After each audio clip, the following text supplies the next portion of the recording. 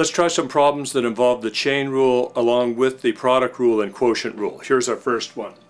We want to find dy dx if y is equal to x squared times the quantity x cubed plus 5x raised to the 10th power. Well, this looks like the product of two functions, this function x squared and this function. So I'm going to differentiate first of all using the product rule. So I'll take the first times the derivative of the second plus the second times the derivative of the first. In the meantime in there I'll probably use the chain rule also. So let's see. y prime will be equal to the first x squared times the derivative of the second. Now when I'm differentiating that, that's all I'm thinking about. And you know how to differentiate this using the chain rule.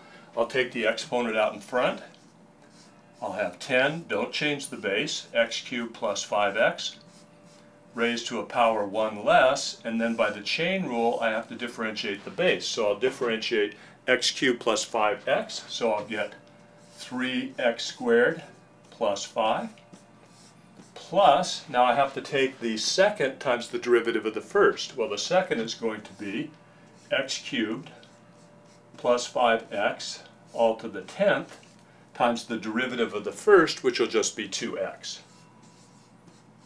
Now I think that went off the screen, so hang on, I'm going to move the camera for a minute.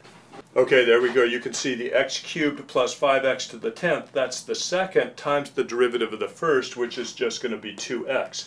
So, first times the derivative of the second plus the second times the derivative of the first. And in the meantime, when I differentiated this right here, I had to use that chain rule.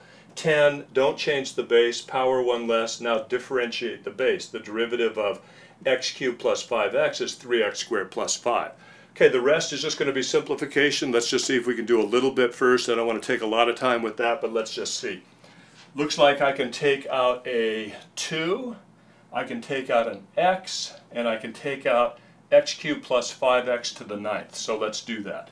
2x times x cubed plus 5x to the ninth times, okay, what's left right here when I take that out? Let's see, I'll have a 5x times, that's gone, 3x squared plus 5. Plus, when I take x cubed plus 5x out of here, let's see, I took the 2x out, I'll take x cubed plus 5x to the ninth out. What I'll have left is just x cubed plus 5x. Okay, so is that right? That times that, this times this, this times this. Yeah, I think I'm okay right there. Now I can simplify in here by multiplying this out, adding similar terms. I won't go any farther than that. I think you can do that part. The main thing is this derivative. First times the derivative of the second plus the second times the derivative of the first. Okay, let's do another problem now that involves the chain rule and the quotient rule. And this is a problem I did previously, so let's take a look at that. Here we have h of x equal the square root of the quantity x squared plus 9 over x plus 3. So I want to differentiate using my chain rule. I'm going to think of this as this quantity to the 1 half power. So let's find this derivative. h prime of x will be equal to, now remember I'm thinking of the exponent as being 1 half, alright, so 1 half times that base, which I'm not going to change, x squared plus 9 over x plus 3, to a power 1 less, well 1 half minus 1, or 1 half subtract 1 is going to be negative 1 half. And now I differentiate the base. Okay, that base I'm going to differentiate, and look, that base is a quotient. So I have to use my quotient rule. So the denominator, x plus 3, times the derivative of the numerator, 2x, minus the numerator, which is x squared plus 9, times the derivative of the denominator, which is 1. And I think I'm okay. I didn't run off the board. Nope. All divided by the denominator squared, x plus 3 quantity squared. Okay, so there's the derivative. That's correct. We've uh, differentiated using the chain rule. I took my exponent out in front, kept the base the same, subtracted 1 from the exponent, then I differentiate the base. Okay, well if you just had that problem as a derivative, that's no problem for you. It's just the quotient rule. It's simple. Denominator, derivative of the numerator, subtract numerator, derivative of the denominator, divided by the denominator squared. Now let's see if we can simplify a little bit. Uh, how about this? 1 half times, I'm going to make this a positive exponent. So I'll take the reciprocal and then raise everything to the positive 1 half power.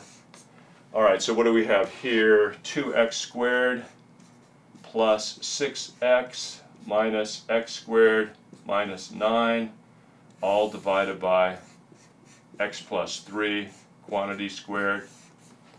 All right, so 1 half. Uh, let's see, I'm going to divide this up into two separate square roots. So I'm going to say 1 half times x plus 3 to the 1 half over x squared plus 9 to the 1 half, just in case I have some common factors. 2x squared minus x squared is going to give me just x squared. 6x minus 9, all that's over x plus 3 quantity squared. So again, I would look in the back of the book here, see what kind of answer they have. Do they leave it with the square roots? I have a common factor of x plus 3 here. Here it's to the 1 half, here it's to the 2. So I could get rid of this one here and write this as x plus 3 to the 3 halves when I subtract 1 half from this 2. That doesn't factor, so don't be tempted to factor it. x squared plus 9 to the 1 half, put that back in square root form, square root of x squared plus 9. Don't be tempted to write that as x plus 3. The square root of a sum is not the sum of the square roots. So anyways, there's a look at using the chain rule to differentiate some pretty complicated expressions right here and to do it pretty easily. Okay, let's try another one here. I have y equal e to the x cosine x. Okay, we'll differentiate. Let's see, dy dx. Well, I differentiate e to anything. It just is e to that thing. And then I have to differentiate that exponent. So I'm going to do that. I'm going to differentiate x cosine x, and now I'm going to use the product rule again. So I'll take the first x times the derivative of the second minus sine x plus the second cosine x times the derivative of the first x, which is 1. So there I have the derivative of e to the u is e to the u times du dx, and that du dx has that uh, product rule in it. First, x times the derivative of the second minus cosine x plus the second minus sine x plus the second cosine x times the derivative of the first, which is 1. Okay, I won't simplify that any further. You can look in the back of the book, see what the answer looks like, and see if you can make this look like that. Let's try another problem. Okay, this time we have y equal x e to the negative x squared, so now I have the product rule first, so I have to do that. First, derivative of the second plus the second times the derivative of the first. So let's see what we get. y prime will be x, that's the first. Now I have to differentiate e to the negative x squared. Well, that'll be e to the negative x squared times the derivative of negative x squared, which is going to be negative 2x. So all that is, is the first times the derivative of the second. Now I need the second times the derivative of the first. So the second function is e to the negative x squared times the derivative of the first, which is 1, uh, let's see, I can simplify this a little bit. Maybe I'll take the e to the negative x squared out in front.